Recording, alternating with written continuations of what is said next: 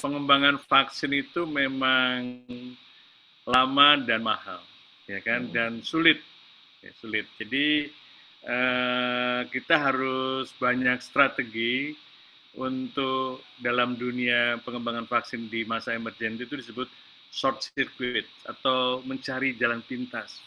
Jalan pintas yang pertama itu harus bekerja sama dengan hmm. lembaga-lembaga yang sudah mengembangkan vaksin.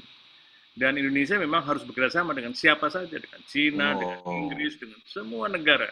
Ya kan? Karena kita butuh kandidat vaksin yang banyak, ya kan? Karena dari kandidat vaksin itu yang jadi nanti itu eh, cuma satu dua saja yang kita anggap efektif dan aman. Dan itu nanti kita harus ada approval dari WHO, dievaluasi dan sebagainya. Hmm. Dan itu nanti bisa dikembang dipakai di seluruh dunia. Itu satu satu uh, yang perlu kita perhatikan juga.